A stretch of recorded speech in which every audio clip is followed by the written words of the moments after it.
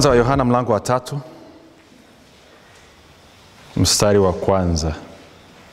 Bwana yesu asifiwe. Uh, kiswahili suv anasema hivi.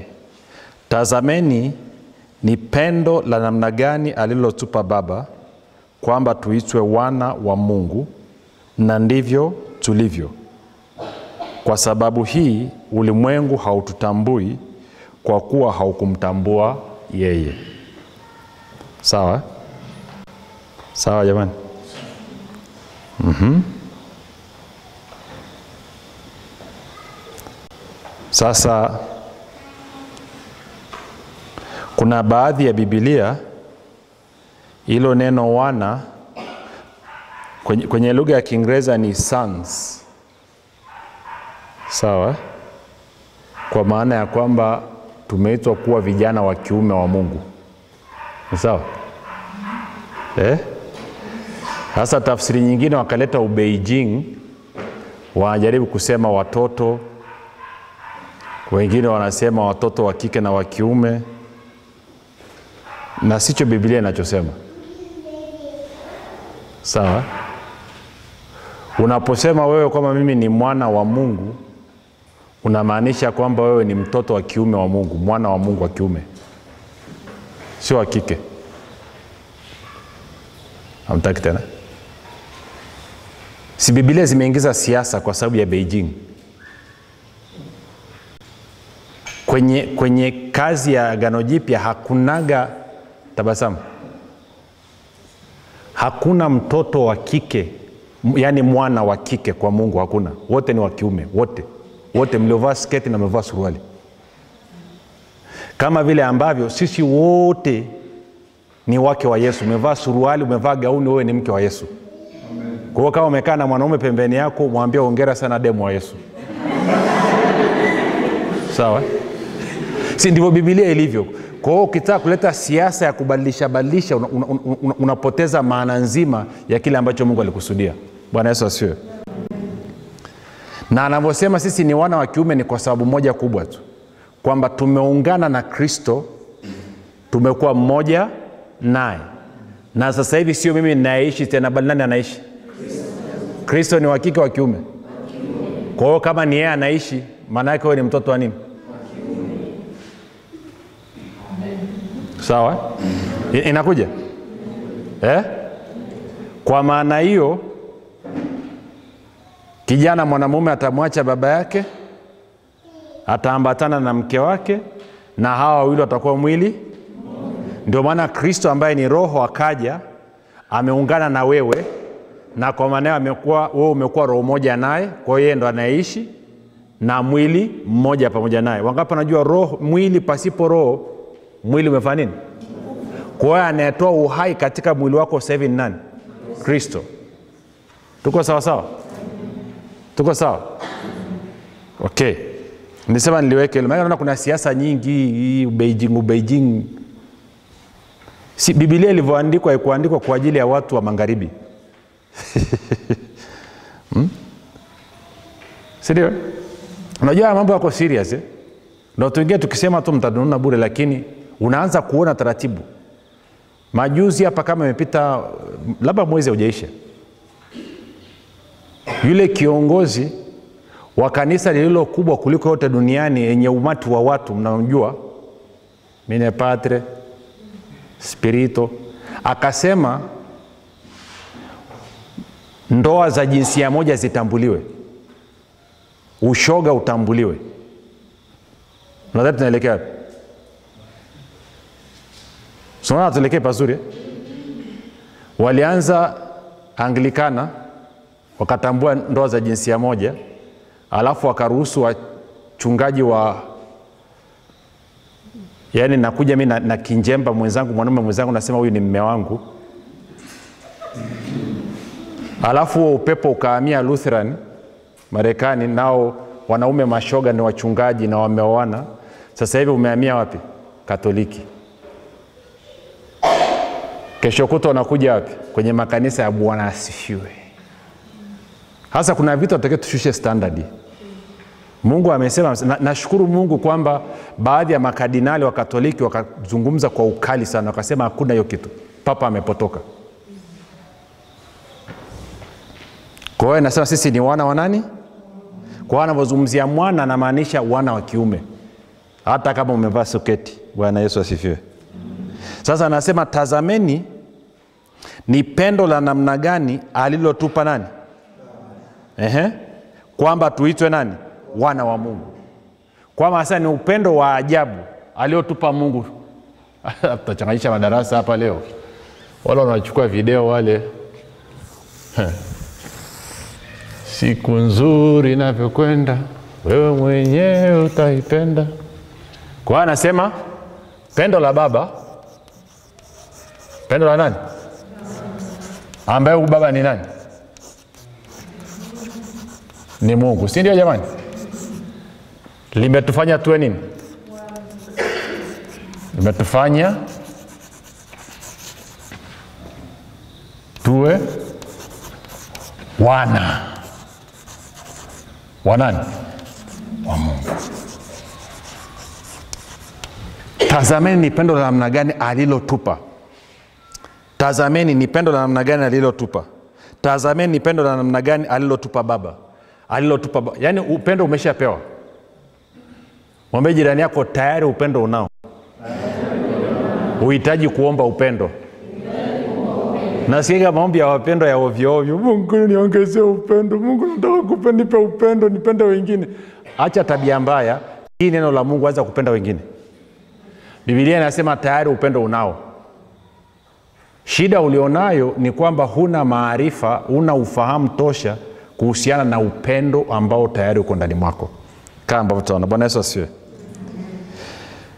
bibilia ile ya tafsiri ya kusoma kwa, kwa urahisi tku anasema baba ametupenda sisi sana. Hili lina, linaonyesha jinsi anavyotupenda. Tuna, tunaitwa watoto mnaona ile siasa imekuja tunaitwa si okay.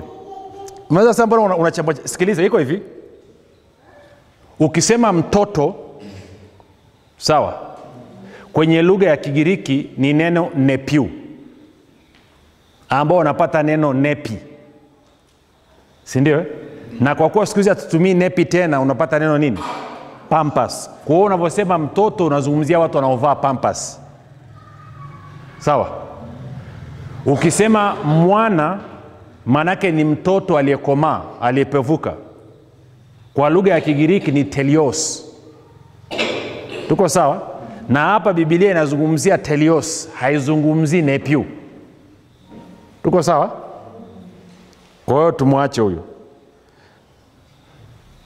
wote tunajaribu kusema hivyo biblia habari njema anasema oneni basi jinsi baba alivyotupenda mno hata tunaitwa nini anasema watoto tunaitwa wana tustiki na ile kwa hiyo anasema ni, ni upendo wa ajabu. Ni pendo la mungu limesababisha sisi tukaitwa wana. Sasa nieleze kitu kidogo. Nieleze kitu kidogo. Bwana yesu asiwe si niandike hapa. Niandike hapa. Niandike wapi? Niandike hapa. Kwani unajua andika nini? Bwana yesu asifiwe. Malaki tatu sita anasemaje? Mungu eh? mungu afanye nini? Mungu abadiliki. Mungu abadiliki. Mungu abadiliki. Hebu sema mungu abadiliki. Kwa hiyo kama mungu abadiliki maana yake nini? Kama tunasema mungu ni baba si ndio? Na mungu abadiliki si ndio? Hajaanza kuwa baba juzi. Maana yake milele yote yeye ni nani? Vinginevyo kama anabadilika inawezekana. Sawa si sawa? Amenyelewi mwaka 88 mi sikuwa baba.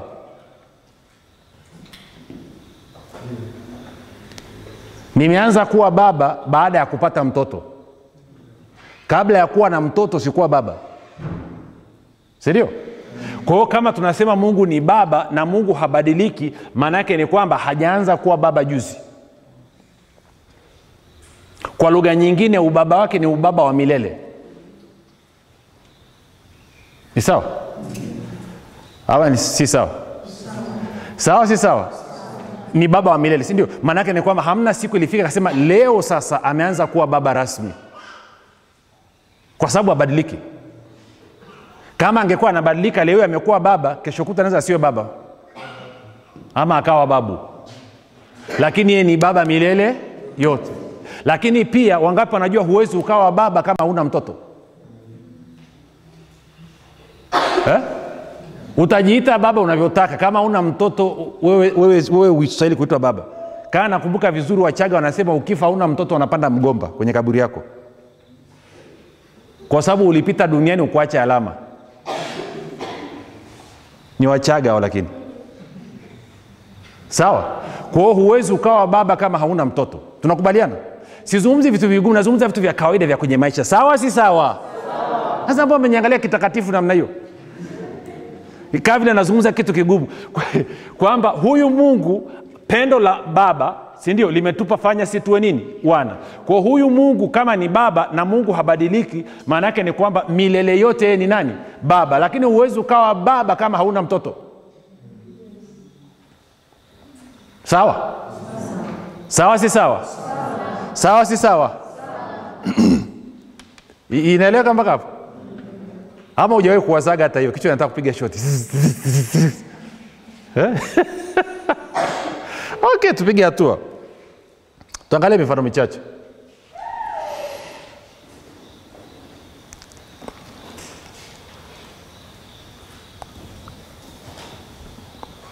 Twende yohana. John. He tutafika kweli napotaka kwenda. Yohana tano. Kwani nini mnasomaje biblia? Eh? yohana tano bwana yesu ameponya yule mtu kwenye birika la nini inaitwa nini? Ni suloamu anaweza kitu gani sijui inatoka nini. Ni suloamu kweli? Inatoka nini ile birika? Bet, eh, birika la nini? Hiyo hiyo. Be- betsaida Betsaida. si ndio eh? hiyo hiyo. Sawa? Kwa hiyo wayahudi wakakasirika kwa sababu ameponya mtu siku ya sabato. Sawa? Ili tuweze kupata maudhui. Tuanze mstari wa kumi na yohana mlango wa tano mstari wa 16 mpaka wa 19 ili tuweze kuelewa alikuwa anazungumza nini. Anasema hivi. Haleluya. Kwa sababu hiyo wayahudi wakamuudhi yesu kwa kuwa alitenda hayo siku ya sabato. Yaani aliponya siku ya nini na wangapi wanajua viongozi wa dini ndivyo walivyo?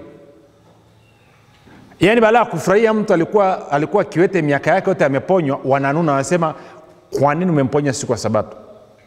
Wangapi nakumbuka sehemu ingine bwana yesu anasema kuna siku sita. Wanamwambia bwana yesu kuna siku sita za kuponya.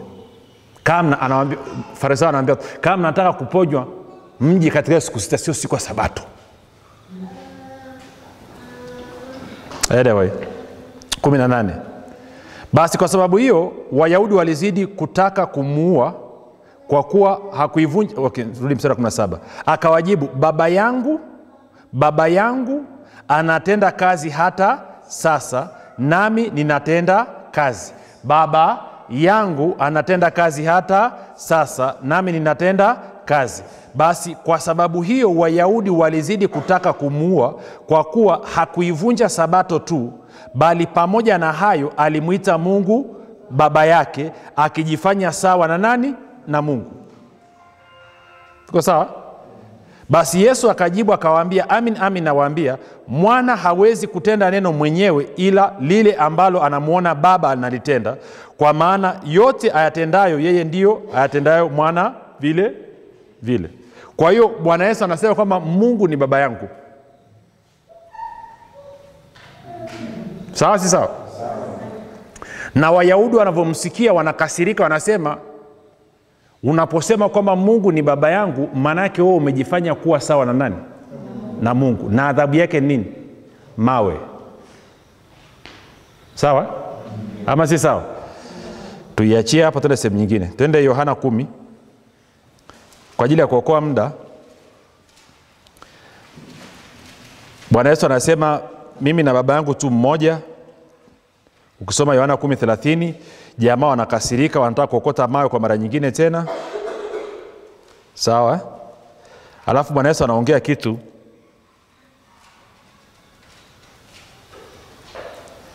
Nisome mstari wa 34 35 mpaka 36 Huf. sawa? Anasema hivi yesu akawajibu je haikuandikwa katika torati yenu ya kwamba mimi nimesema ndinyi miungu? Ikiwa aliwaita miungu wale waliojiwa na neno la mungu na maandiko hayawezi kutanguka je yeye ambaye baba alimtakasa akamtuma ulimwenguni ninyi mnamwambia unakufuru kwa sababu nilisema mimi ni mwana wa mungu? Sawa? Eh?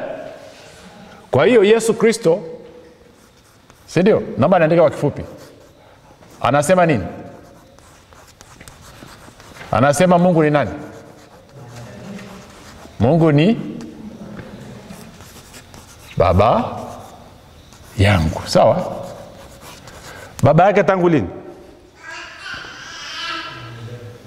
Hmm? hayo ni madai ya yesu. Ngoja tukaangalia huyu mungu naye anasema nini. Sawa ama si sawa? Twende marko mlango wa kwanza.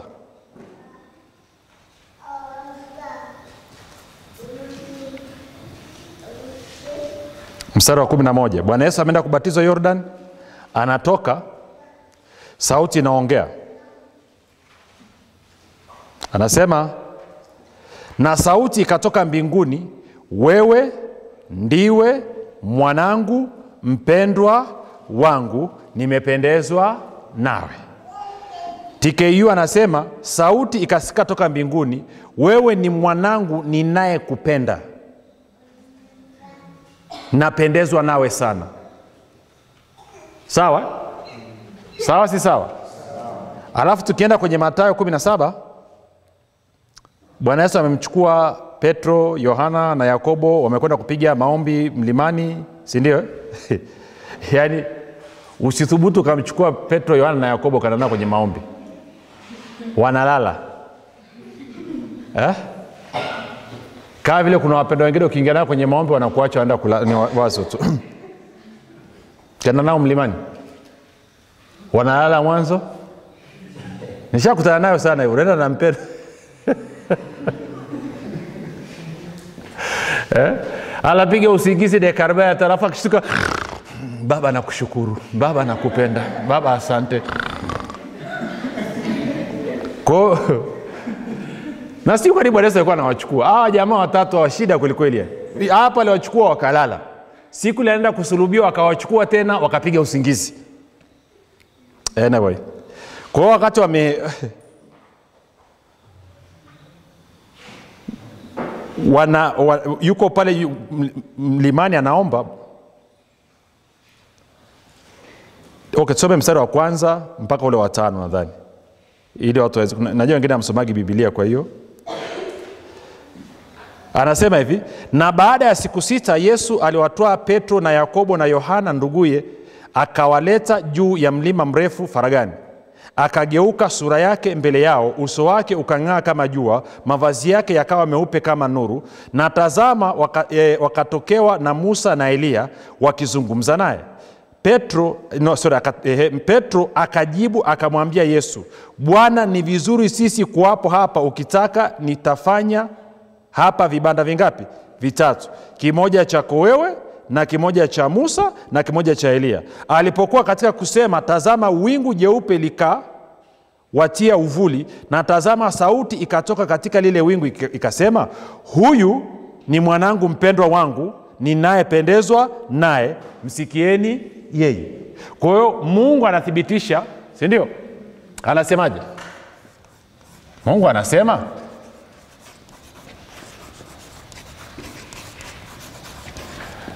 yesu kristo si ndio? Ni nani? Ni mwanangu. Mwanangu mpendwa. Kama ambavyo umeitwa nani? Mpendwa tunaambianaga tu mpendwa. Mwana yesu asifiwe mpendwa. Alafu tunataka tunaongea nini?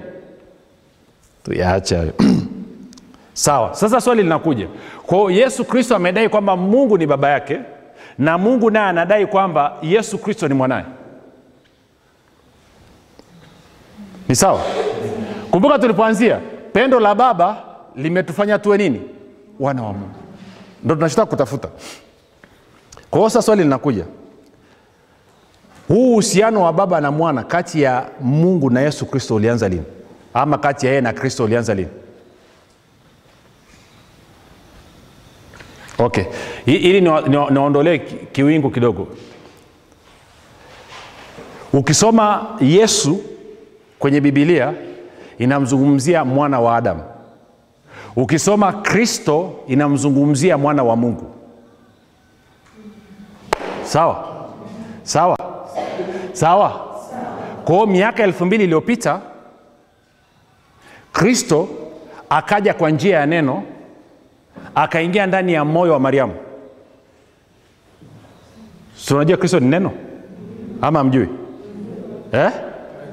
roho mtakatifu akaja juu ya mariamu nguvu za mungu zikamfunika mariamu alafu lile neno likatengeneza mtoto tumboni mwanani kwao kristo akazaliwa katika damu na nyama naye neno akafanyika mwili. Yohana 114 sindio kwao kristo akavikwa mwili. Mwili unaitwa nini? Yesu wa nazareti. Nakuja kuja? Ama yakujikuja kuja? Tuko sawa? Siku moja na wengine hapa mkiwa mnakunywa gongo mkahubiriwa injili. Lile neno ambale ni nani kristo mwana wa nani? Wa mungu akaingia kwenye nini? Kwenye moyo wako. Roho mtakatifu akaja juu yako nguvu za mungu aliye hai zikakufunika ukazaliwa mara ya kristo akavaa mwili unaoitwa nini? Nikanor urasa. Akavaa mwili unaoitwa nini? Urumagadi. Sawa? Ama si sawa Ina, inaanza kuja kuja. Kwa hiyo inamaana huyu mungu ni baba yake na kristo. Sasa swali linakuja muda gani? Eh? Eh? milele sindio na hapa ni nini? Kwa lugha nyingine mungu ni baba milele na kristo naye ni mwana milele. Lakini unaposema mimi ni mwana wa mungu maanake unasema kwamba na wewe ni nani mungu. Kwa hiyo tunavyosema mimi ni mwana wa mungu nachomaanisha ni kwamba ni kwa sababu kristo mwana wa mungu anaishi wapi? Ndani mwangu sindio sawa si sawa? Ukisoma wagalatia 46 anasema hivi kwa kuwa ninyi mmekuwa wana mungu alimtuma roho wa mwanaye wapi? Mioyoni mwetu aliaye aba yani baba. Na kama ni hivyo ninyi si watumwa tena bali mmekuwa nini? Wana warithi warithi wa nani wa mungu. Inakuja ama ikuja unaposema baba maana yake unasema kwamba kristo yuko ndani mwangu. Ndio maana paulo anasema sio mimi naishi bali kristo. Mmenyelewa mpaka hapa ama nimezungumza gia ya juu sana. Eh? okay. Sasa wengine mnaweza sema sasa kama ni hivyo mimi nimeenda wapi sasa?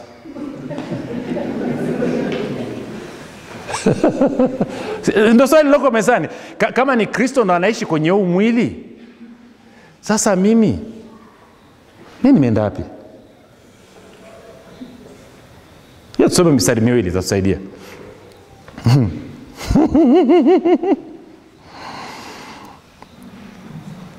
Ndo wanakwambia bibilia hebu mruhusu tu roho akusaidia saidia kuelewa yani eh? hii habari ya kwenda kujifunza biblia kwenye chuo cha biblia utapata tabu sana. Anasema hivi wakolosai tatu mstari wa tatu mpaka wanne anasema hivi. Bwana yesu asifiwe. Ya kwamba eh, nimeenda wapi? Eh, niko wapi? Ah, nimeenda efeso sore sinashangaa sema ya kwamba tena ya kwamba ya kuwa. Wakolosai wakolosai tatu tatu hadi nne. Anasema hivi haleluya. Anasema hivi. Kwa maana mlikufa sawa na uhai wenu umefichwa pamoja na nani? Na kristo katika nani? Mungu. Kristo atakapofunuliwa aliye nini? Uhai wetu. Ndipo na sisi tutafunuliwa pamoja naye katika nini? Hata taratibu. Anasema hivi okay. Kabla ya wewe kuzaliwa mara ya pili wewe ulikuwa umekufa. Maana yake ni roho yako ilikuwa imekufa. Humtambui mungu. Huna uhusiano na mungu. Huna muunganiko na mungu. Sawa? Sawa? Ulivyozaliwa mara ya pili hii roho yako ilikuwa inachacharika na dunia ikafa. Ikafia dunia.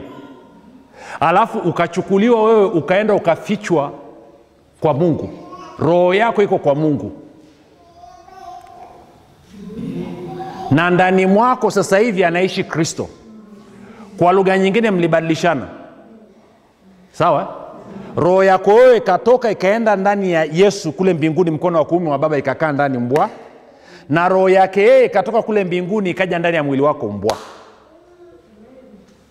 Na ndio maana anasema kristo ni uhai wako unasema sielewi uhitaji kuelewa. Wewe unahitaji kukubali kwamba hivyo ndivyo ilivyo. Sawa? Sawa. Ndo maana inaitwa imani. Sindio kwa hiyo mlibadilishana. Wewe umeketi mkono wa kuume wa mungu baba. Ndio maana nawaambia wakristo kila siku hakuna pepo anaweza kufikia. Hii mnaenda kwa kwa nini? Nini inaitwa? Nabii sindio? E, naona una pepo nalala nalo usiku. Ndio baba na wewe ni mkristo? Anasema wewe ulikufa. Uhai wako umefichwa pamoja na kristo ndani ya mungu. Wewe uko ndani ya kristo. Kristo yuko ndani ya mungu kwa pepo jini kinyamkera ili aweze kukugusa lazima apambane kwanza na mungu muumba wa mbingu na nchi amshinde. Alafu aje apambane na kristo amshinde. Alafu ndo aje akukute wewe. Sasa swali langu ni hili eh? kibaka wa matejo anaendaje kwenye ikulu ya magufuli? Anaingiaje kule ikulu? Awezi sindio okay niambia huyo pepo huyo jini huyo mzimu huyo takataka gani anawezaje kufikia kwenye uwepo wa mungu? Uwepo wa mungu ambao uzia alipojaribu kuzuia sanduku la agano lisianguke akafa. Huyu- pepo mchafu anafikaje kwenye uwepo wa mungu?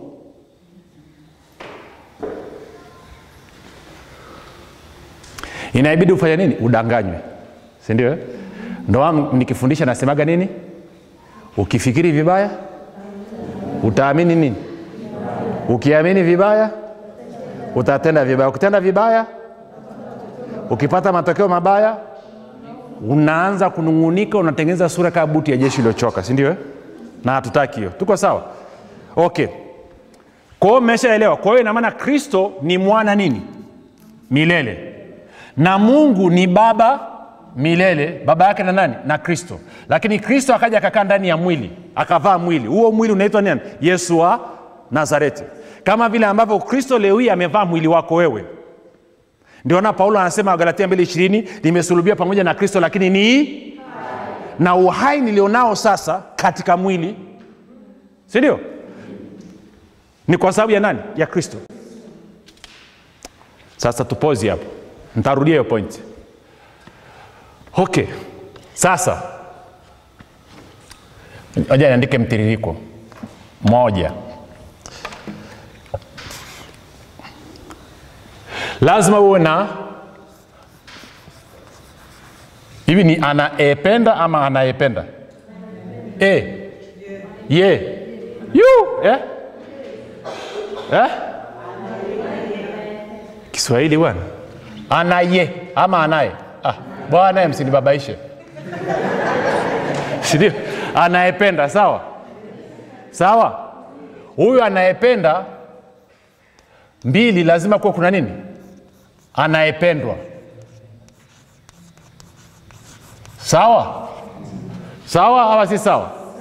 Na tatu lazima kuwa kuna nini? Kuna upendo. Ni sawa? Eh? baba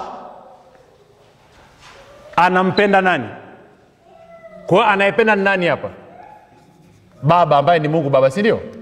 Anampenda nani mwana. Ni sawa? Kwao lazima awepo anayetoa upendo na anayepokea upendo. Lakini pia lazima kuwa kuna pendo. Ha? itakaa tu sijali kwani unaweza kupenda bila upendo? Ha? okay unaweza ukapenda kama hamna kitu cha kupenda? Ha? unaweza ukasema napendwa kama hakuna anayekupenda kwao hayo matatu lazima awepo kwamba yule anayetoa upendo yule anayepokea upendo na pendo lenyewe. Sindio anayetoa upendo ni nani? Mungu baba. Anayependwa ni nani? Mwana mungu mwana. Ni sawa? Ama niwaandikie kabisa mungu baba sasa hapa. Mungu baba ndo anayefanya nini? Anayependa. Na anayependwa ni nani? Mungu mwana si ndio? Swali linabakia. Huu, hu, ili pendo hili. Pendo ni nani? Ni roho mtakatifu. Kwa pendo la mungu ni nani? Twende warumi tano tano.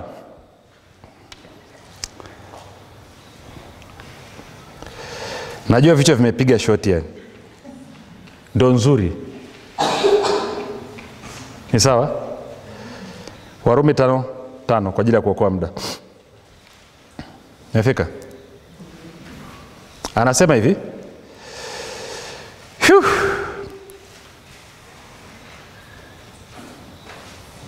na tumaini halitayarishi kwa maana pendo la mungu limekwisha kumiminwa katika mioyo yetu na roho mtakatifu tuliyepewa sisi.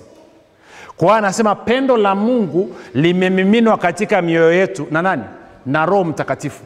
Kwa lugha nyingine mungu baba anavyompenda mwana maana yake nini? Mwana maana yake ni roho mtakatifu ndiye anayemimina pendo la baba kwa nani? Kwa mungu mwana. Sawa? Na mungu mwana naye anarudisha lile pendo kwa baba kupitia nani? Roho mtakatifu. Kwa hiyo roho mtakatifu ndo amesimama hapo katikati kati ya baba na mwana. Yeye ndio pendo lenyewe linaloenda huku na huku huku na huku. Tuko sawa? Alafu anasema pendo hilo hilo ambalo mungu anampenda nalo mwana kwa maana anampenda nao kristo ndo pendo hilo hilo limemiminwa katika mioyo yetu.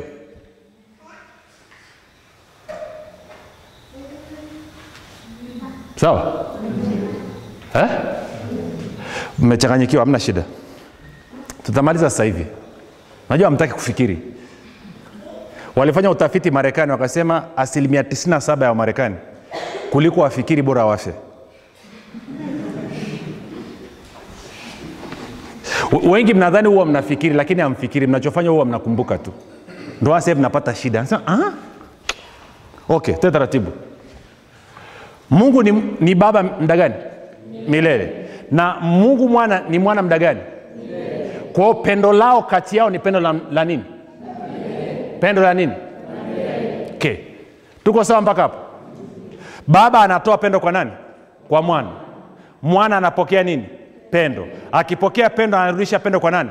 Kwa baba. Alafu baba anamwaga nini? Pendo. Kwao anabadilishana Up, na aliyoko katikati hapo ambaye ni upendo ni nani? Roho mtakatifu. Ndio maana kwenye ukristo tunasema kwamba mungu ni mmoja lakini anajidhihirisha katika nafsi ngapi? Tatu. Mungu baba mwana na roho mtakatifu. Na hao waliokufundisha kwamba unajua mungu ukitaka kumwelewa ni kama jua vile jua lile ndio mungu baba alafu ule mwanga ndio kristo na lile joto ni, ni, ni matapeli. Ama ni kama yai la kuku waongo wote. Sema wote wanaosema hivyo ni waongo kaa ibilisi.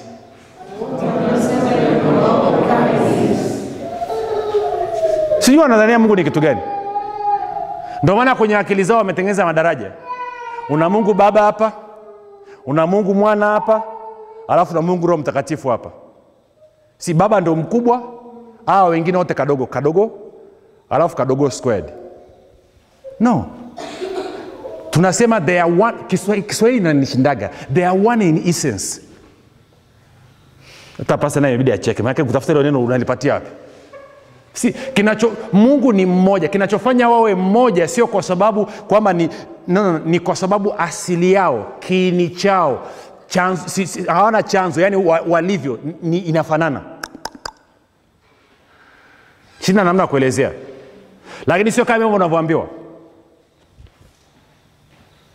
mungu ni mmoja. Unavyosoma bibilia yako mwanzo anasema hapo mwanzo mungu aliumba mbingu na nini? Kwenye lugha ya kibrania anavyosema mungu anasema elohimu. Na elohimu ukiangalia tafsiri yake maana yake ni pluro mungu katika wingi miungu. Alafu ukija kwenye, kwenye kumbukumbu la torati anasema sikia e israel bwana mungu mungu wako ni lakini anasema mungu ni mmoja the lord your god is one kwamba bwana mungu wako ni mmoja ile mungu ni elohimu unasema inakuwaje hiyo? Ukikutana na mungu muulize kazi yetu si ni kuamini. Sawa si sawa? Sawa si sawa? Ndio maana bwana yesu akasema mkabatize kwa jina la nani? Na la nani? Na la nani ndio maana tuna kitu kinaitwa imani ya mitume. Walokole hawajui hiyo. Wanajua lutheran wanajua katoliki wanajua anglikana wanajua moravian. Makanisa haya ya kina manabii manabii na mitume mitume hawajui hiyo kitu tena.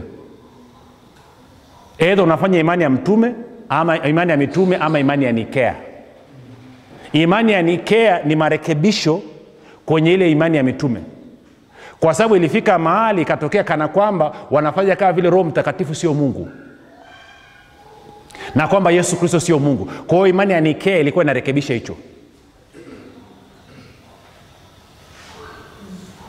Kichwa imepiga shota haina shida. Sasa turudi hapa. Kwa hiyo mungu ni? Lakini anajidhihirisha katika nafsi tatu tofauti. Mungu baba mwana na roho mtakatifu. Mungu baba anampenda mungu mwana na lile pendo linamiminwa nani? Na roho mtakatifu. Kwa hiyo roho mtakatifu ndio pendo lenyewe yeye ndo fasiliteta mwezeshaji wa lile pendo.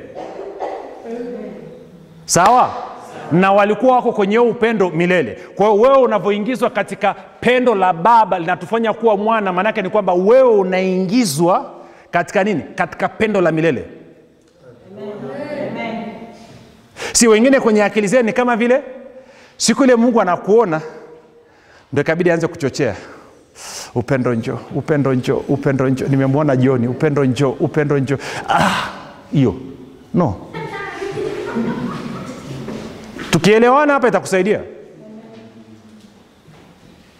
Mimi na wewe kilichotokea tumevutwa tukaingizwa katikati ya hili pendo.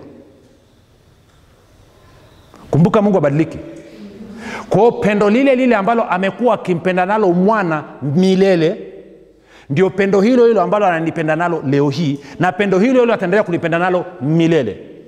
Okay, mjanisikia mjaingia upande huko. Mjaelewa si kwenye akili zenu nadhania kwamba kuna upendo mmoja wa kwa ajili ya kristo yesu kristo alafu kuna upendo mwingine kwa ajili ya urumagadi kwa hiyo upendo wa yesu kristo ni mkubwa sana na urumagadi kwa sababu ya rekodi yake mbovumbovu mbovu ka upendo ka anakuwa kadogodogo hizi yani.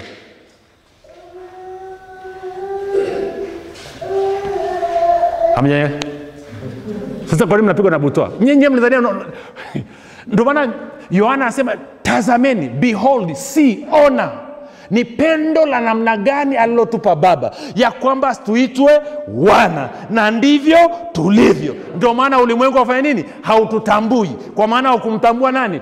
Kristo. Alivyosema kwamba nani? Baba! Wakaokota mawe.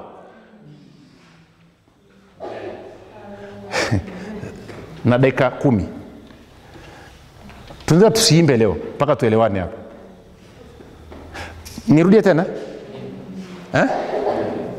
Okay la- labda nikupe mfano ili uweze kunielewa. Nani ambaye kula mwindi wa kuchoma?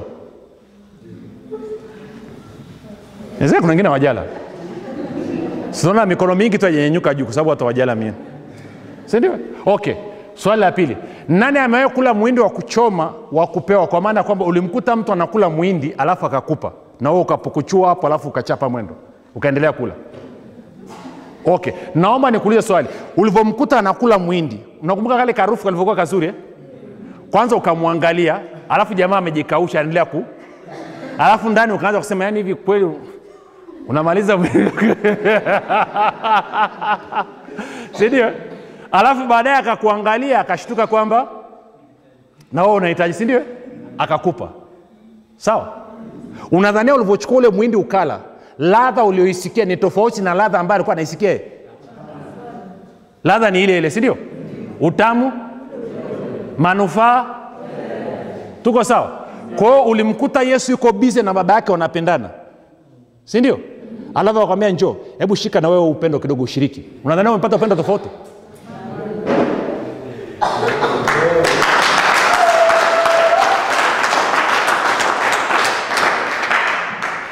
ngoja eh, meza bwana iko pale. Ngoja tukienda kugonga ile maneno pale. Ndo utajua leo upendo wa mungu ni nini. Hatuzungumzi nadharia hapa. Una, unaanza kunyelewa? Kwa hiyo sio kwamba umepewa upendo tofauti. No, no. ni ule ule ambao yesu alikuwa na baba yake wanapendana. Hupupupu wakakuona. Ukawa unaangalia. Hivi mnapendana alafu mimi ndo mnanyachaje? Sindio akasema okay njoo. Shiriki na wewe. Kwao umepata kitu? Kile? Ubora ukuu utamu.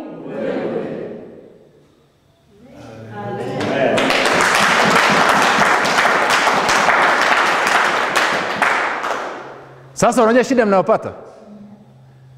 Mmekuja na hiyo akili yenu redio bendi mbili mnajaribu kuelewa yani. Unataka kuelewa yani inakuwaje hiyo? Hiyo kichwa yako haiwezi elewa ndo maana anasema uelewe pendo la kristo lipitalo nini? Fahamu zote. Manake hii haupati hau, si, hauelewi kwa, kwa anasema kwa imani twafahamu. Inabidi utumie imani kuweza kuelewa hili pendo. Kwa hiyo kwa lugha nyingine kubali. Sasa ni pozi hapo. Twende mahali afu tarudi samwe hapo. Twende twende yohana kumna- kumna- yohana mlango wa 17 hey, mda wangu umeisha. Lakini sio mbaya. Si bora tuelewe ama mtaka kuwahi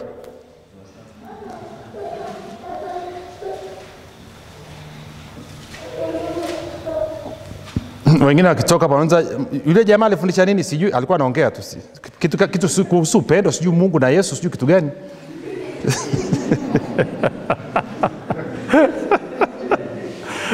Wae kuelezea ki- upendo upendo hivi. Okay kwenye yohana 17 bwana yesu anafanya maombi ya mwisho kabla ya kwenda kufa msalabani. Alafu anaombea wanafunzi wake. Mstari wa ishirini anasema siwaombei hawa wanafunzi tu nawaombea na wale watakaoamini kwa sababu ya meseji yao. Alafu hata tuende mstari wa 22 sawa? Mstari wa 22 hadi wa 23 anasema hivi nami utukufu ule ulionipa nimewapa wao ili wawe mmoja. Si wawe na umoja ni mmoja so that they may be one. Ili wawe mmoja. Kama sisi tulivyo mmoja. Mimi wapi? Ndani yao. Nawe wapi? Ndani yangu. Ili nini? Wawe wamekamilika katika mmoja. Ili ulimwengu fanya nini? Ujue ya kuwa ndiwe ulifanya nini? Uliyenituma. Sawa si sawa? Ukawapenda wao kama ulivyonipenda. Kwao kufuatana na kauli ya bwana yesu mungu anakupenda kiasi gani eh? kama anavyompenda yesu kristo. Muda gani? Kwa ubora gani? Viwango vipi? Okay. Nini maana ya upendo? Wangapo wanajua wakina mama wanaelewa wakina baba kidogo ni shida. Lakini wakina mama ungeweza ukachukua watoto wao ukawaweka kule nje wakaanza kucheza. Chukulia wakina mama wote panakuwa na vitoto vyao vinacheza kule nje kitoto kimoja kikilia mama mwenye mtoto anatoka mbio yani hahitaji kuambiwa yani kuna namna mtoto akipiga anajua ule ni wakwangu kitu imeitika huyo. Na wakina baba kwa kuwa wajua anagonga we mtoto analia asema si wakwangu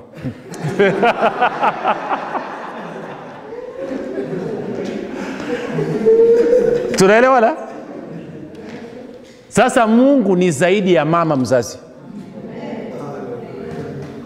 Maana yake ni kwamba tangu siku ile umeingizwa kwenye familia ya mungu masikio yake na akili yake na macho yake na moyo wake uko kwako.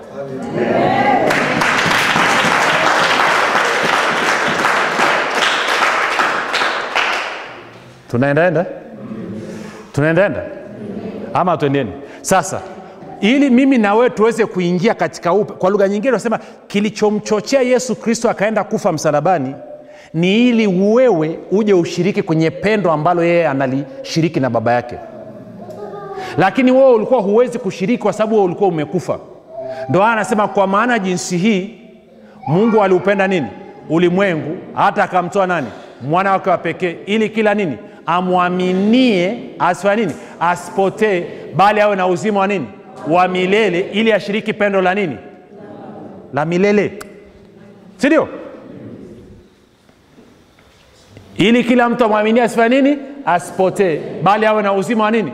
Wa milele ili aweze kushiriki pendo la nini? La milele. Nakuja ndio sababu ya mungu kukupa wewe uzima kwamba anataka akumiminie lile love ambalo anamiminia yesu anamiminia mwanaye. Kwa anataka na wewe umiminiwe. Lakini ulikuwa umekufa. Uzima uliokuwa nao ulikuwa ni chafuchafu haufai. Kwa hiyo ikabidi akupe uzima wake mwenyewe unaitwa zoe. Uzima ule unaomfanya mungu awe mungu ndo uzima ulionao wewe ulizaliwa mara ya pili. Hivi mnanyeelewaga kweli unadhani kwani nakwambia siwezi kuumwa? Eh? ule uzima ambao mungu anao sasa hivi ambao amekaa mbinguni that life ambayo imeletwa na roho mtakatifu huo uzima ndio huko ndani mwangu mimi. Okay nani ulisikia mara ya mwisho kwamba mungu ana malaria? Umeenda kwenye maombi gabriel akaja akasema samani leo mungu awezi kujibu maombi nini? Najua alienda mahali akala kitimoto anaarisha kwelikweli yani alafu na, ana malaria ya wiki ya tatu sasa ana uti isiyokatika kwa hiyo labda ukijaribu wiki ijayo anaweza akawa amerudi kazi anaweza akawa na nafuu. Mbona menyangalia namna hiyo? Eh, huyo sio nani? Sasa huo uzima unaomfanya asiumwe asiwe na matatizo huo uzima ndo amekupa wewe. Umepewa uzima wa milele. Sio uzima wa wiki moja uzima wa milele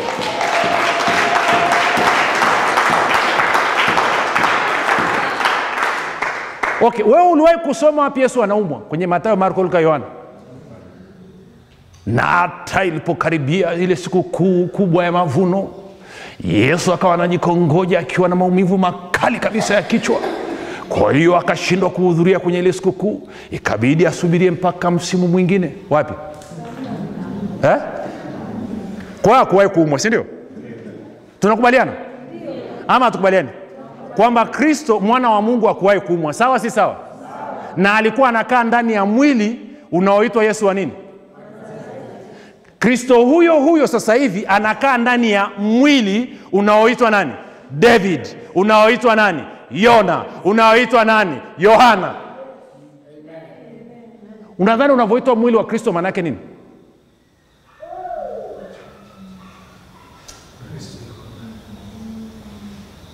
kama kristo alikaa kwenye mwili wa yesu wa nazareti na mwili wa yesu wa nazareti haukuumwa vipi huyo kristo akikaa kwenye mwili wako wewe? Sasa ama ni ngumu sana nazungumza. Na muda unaishi. Sasa ma mnanyangalia hivyo? Kwani kristo aishi ndani mwenu? Kwa nini wewe unaitwa mwili wa kristo auitwi mwili wa yesu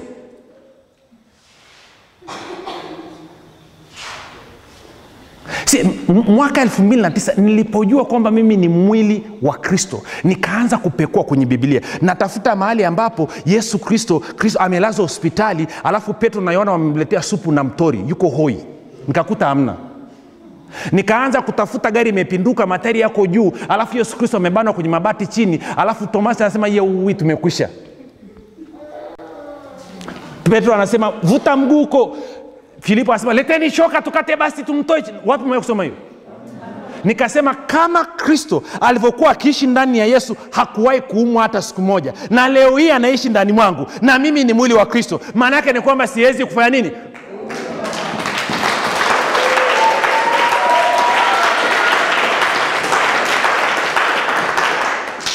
Sasa sitaki kuwachokonoa na ile nyingine, ile nyingine tuiache, sio leo mahali pake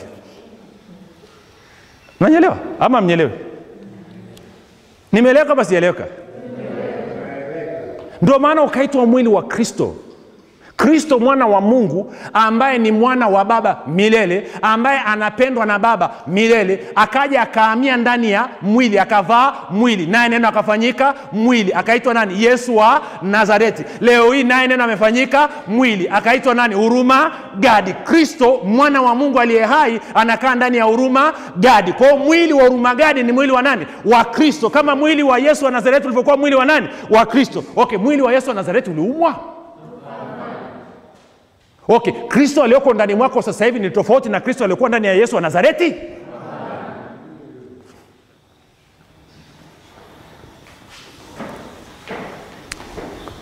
Nasubiria hilo swali tufanyeje kubaliana na injili? Haina shida kama unaumwa sasa hivi no problem sio tatizo. Kubaliana na ukweli ukweli utabadilisha hayo mazingira. Mazingira hayabadiliki mpaka umekubaliana na nini? Mtaijua na kweli itawaweka?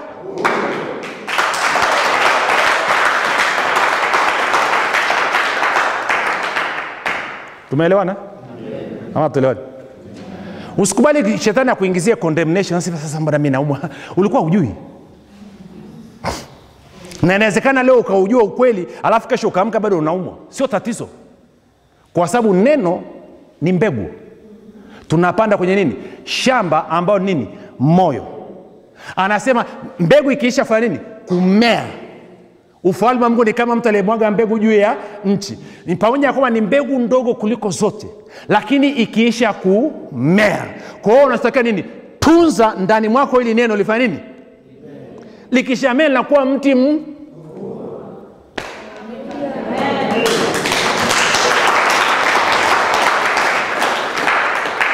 inakuja kuja ama ikujikuja sindio sasa hapo sijazungumzia kwenye habari ya michuzi.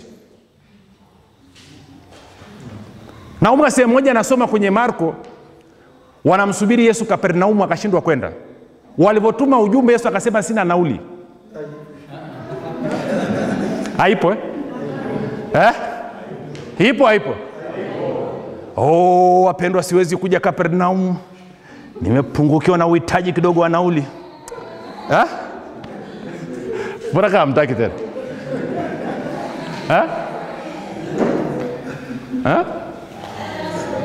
mbona na yesu kristo alipofika yeriko ikabidi apumzike siku nzima maanake alikuwa na njaa ya siku tatu ajala alikuwa ajala kwa sababu alikuwa hana fedha za chakula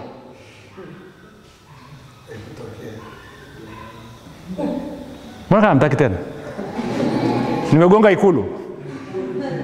Hasa kwa nini tunasumbuliwa na magonjwa? Kwa nini tunasumbuliwa na umaskini? Tunasumbuliwa na matatizo? Kwa sababu twende waraka kwanza yaona tatu moja tena. Oh, mpaka natoka na jasho ese. Inaanza kuja kuja? Ama ikujikuji labda kabla ya kwenda kule sikiliza nirudie tena kusoma mstari wa 22 kwenye yohana 17 anasema bashira tatu nami utukufu ule ulionipa nimewapa wao ili wawe mmoja kama sisi tulivyo mmoja. Mimi ndani yao nawe ndani yangu ili wawe nini? Wamekamilika katika mmoja. Wawe wamekamilika. Kwa kiingereza anasema so that they may be perfect in one. Unajua maana ya perfect? Eh?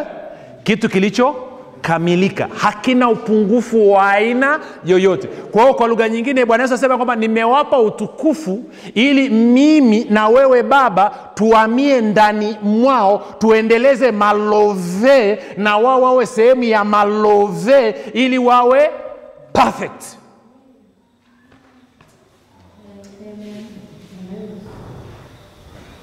Tumache eh? si meseji ya namna natakiwa uichukue unaisikiliza mwezi mzima kila siku. Alafu roho anakumegea. Alafu anaipanda ndani ya moyo wako. Anaipanda ndani ya moyo wako. Ukisikiliza leo kuna kitu unakisikia. Unaelewa unashangilia. Kesho ukija kusikiliza tena kuna kingine umekielewa. Kesho kuto yaani mpaka mwezi ukiisha ulimwengu ukikuangalia unafahamu kwamba kweli kristo aliyoko ndani mwako ametumwa na nani? Na baba. Na kwamba kweli baba anakupenda wewe kama anavyompenda kristo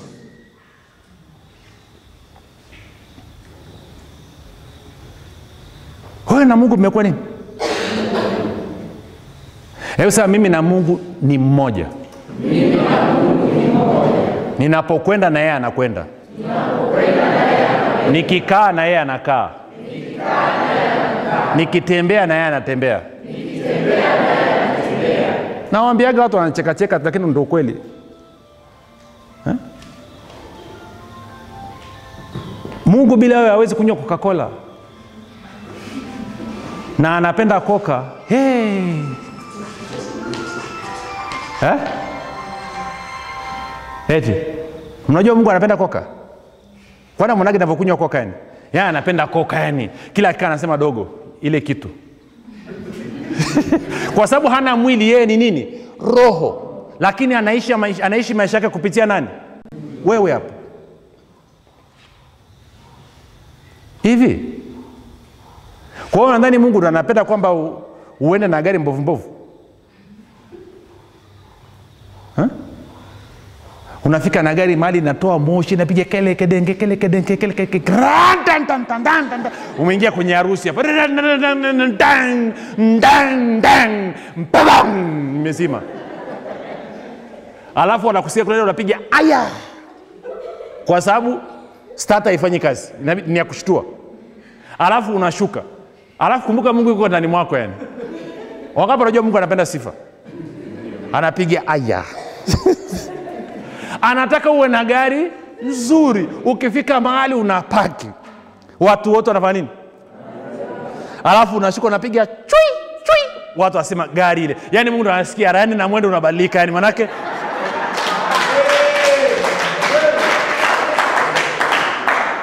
shida yenu ni kwamba mmefundishwa fedha mali utajiri ni vya shetani. Yeboyebo na toyo ni ya mungu. Oh, haleluya. Tumefikaje huko? Kwao ndo maana yohana anasema tazameni ona kwa macho ya rohoni ona ndani ya moyo wako kwamba ni pendo la namna gani alilotupa baba ya kwamba tuitwe mungu kwa lugha nyingine mungu ametushirikisha pendo lile lile ambalo anampenda nalo mwana pendo ambalo ni la milele kwa lugha nyingine hey. nakosaga kiswahili eh? kwamba intensity ya upendo wake na magnitude ya upendo wake kwangu natafuta mkalimani. Somaa kiswahili ni shida kwenye biblia.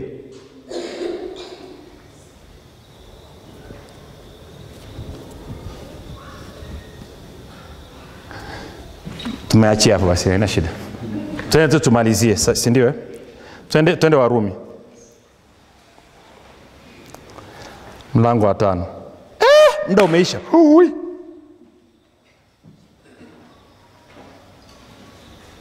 Warumi tano. Sasa nataka tuangalie vitu vichache kwa kumalizia. Alafu tumruhusu roho mtakatifu ambaye ndio upendo mwenyewe ndio upendo mwenyewe. Sawa? Aje apige muhuri na ilo upendo ndani ya mioyo yetu. Kwamba ilo upendo liwe halisi. Kwa nini? Kwa sababu mungu anapenda kudhirisha pendo lake sawa. Usipoelewa pendo la baba utastruggle sana utapata shida. Sisemi kwamba mimi nimefika nimeanza safari. Yaani ni kama vile mimi nato, tunatoka wote hapa tunakwenda dar es salaam. Mimi nilishaanza safari. Unasema uko wapi? Niko makumira. Najua ninaenda kilomita mia sita lakini walau limeanza niko makumira. Kwa hiyo na wewe anza. Sisemi nimefika lakini usipoelewa ili pendo utapata shida. Kuna vitu mungu atazungumza na wewe utaona mm,